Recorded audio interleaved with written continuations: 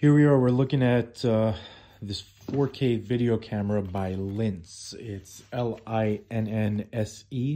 These are sold on Amazon. I think this was about $120. So it's a 4K video camera. Um, comes with an, uh, an actual directional mic. Um, it does come with a lens hood also includes two batteries. One is right here in the camera when it ships. It is turned around though, so you gotta pop it out and turn it around and all that fun stuff.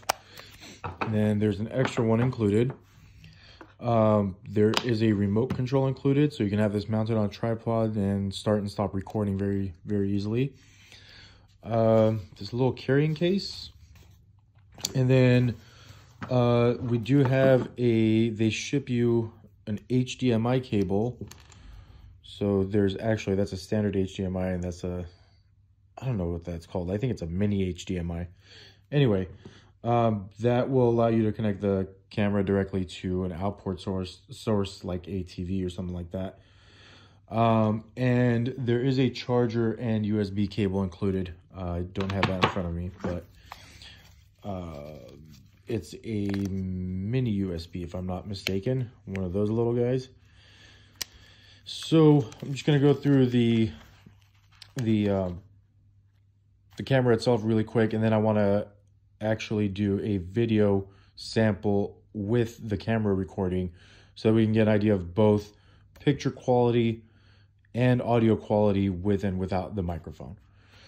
Uh, so just to run through this really quick. So on this camera, uh, like I said, the battery compartment's down here, just in case anybody's confused on that. That's also the SD card slot. I need to grab an SD card for this thing as well. Um, to remove the battery, there's this little tab right here on the side. You got to pull that, it'll pop out. Operation is actually pretty straightforward and pretty simple. So once you open this up, obviously we got to insert a memory card, so we're not going to get uh, we're not going to get any recording right now. But there are um, the mode button will switch between photo mode, video, and playback.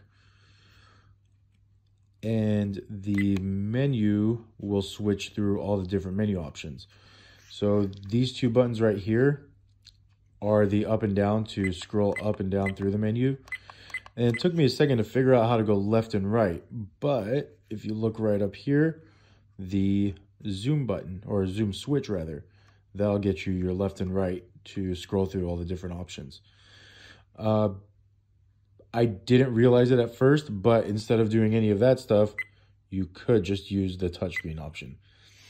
So that, that actually makes things a lot more simple. Um, for right now, I do have the lens cap on. I will take that off. Um, there is really, I mean, if, if you've used any kind of a video camera ever, it's very, very straightforward. You have your zoom functions, start and stop recording, and there's actually also a button there to take a photo uh, if you happen to just need to snap a quick picture. To um, to attach the microphone. So very simple. It's going to attach to the hot shoe, but it's not actually going to utilize the hot shoe. So it could be attached separately to a um, to a tripod if you wanted to, for example, add a couple of these and you know use a audio mixer to get all that set up and go all crazy and fancy. You could, but pretty simple. Loosen the little screw, slide that onto, see if I can do this well. While I'm holding, oh, didn't get that loose enough. There you go. So while after you attach it, obviously you'll screw it down to keep it from shifting around. This wire plugs right into the back here. So this is a little minor annoyance that when this is plugged in, you can no longer close this flap. A little annoying, not the end of the world. But um, one thing to remember with this microphone, it does not take its power from the camera. There is a battery in the microphone there. When you get it, that battery will be wrapped in plastic. You won't be able to use it until you open that cover, remove the uh, plastic around the, the battery and pop it back in. Um, while you're using this microphone, you're to, normal operation, you're to be at the zero decibel. The plus 20, that's highly sensitive. It's very amplified. Um, that's if you're trying to pick up something from further away and, you know, being a creepy stalker or something like that. Anyhow, so those are the basics of the camera. Um, I'm going to choose to not use a lens hood because I'm sitting inside and I don't have to worry about any kind of lens flare. Uh, so what I'm going to do is I'm going to take the camera, actually mount it to my little tripod here, and we'll get an idea of what uh, audio and video quality is like. So here we are. Um, this is actually being recorded by the camera in question. So right now I don't have the microphone plugged in or on. This is audio that's being picked up by the, the microphone that's on the camera itself. Uh, I know there's also some using the little remote that came with it.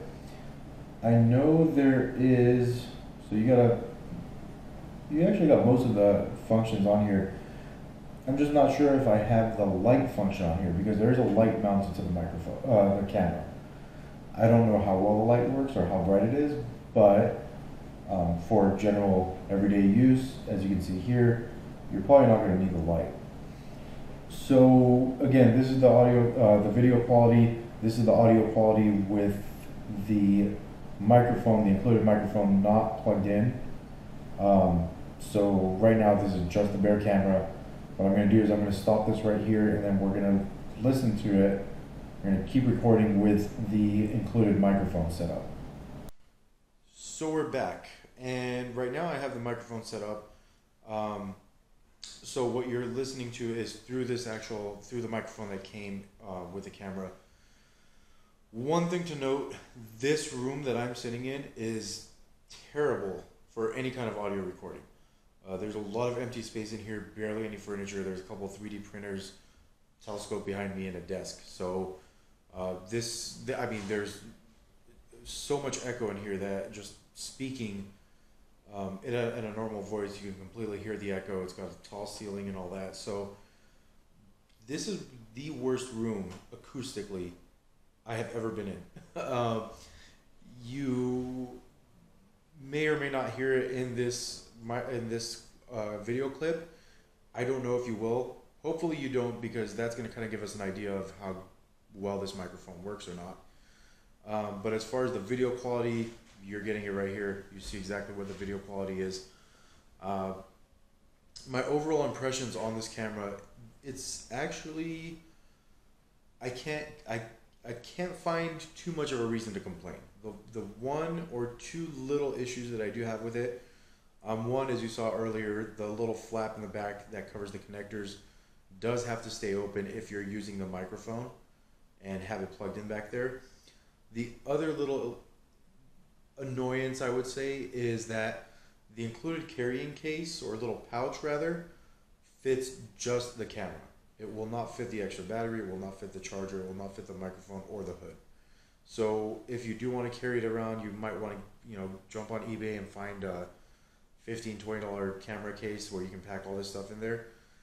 It's, but it's still not, I mean, it's not big by any means. Um, I would say that it, it would all fit in a fanny pack. Nobody carries a fanny pack anymore though. So um, it is something that you might have to look into is, you know, factor in another 10, 15 bucks for some kind of a little pouch or case. Or if you have a backpack, you throw it in there, it's plenty of room. I mean, the camera itself, without the microphone or hood attached, is small enough to where you can literally drop it in the pocket of your car door. Um, it's very, very compact, actually. Um, my main reason for buying it, I just wanted to buy it to record videos like this, reviews, uh, little how-to videos.